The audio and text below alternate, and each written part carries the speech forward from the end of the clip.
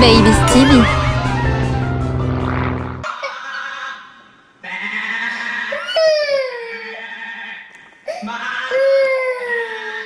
Who is that? Hey, it's that cute little Come on, Joy! Let's meet him and ask him whether he's got any